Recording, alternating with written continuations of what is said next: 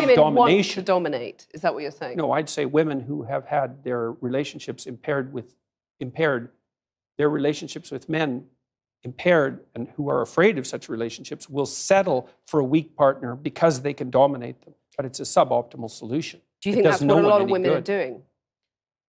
I think there's a substantial minority of women who do that.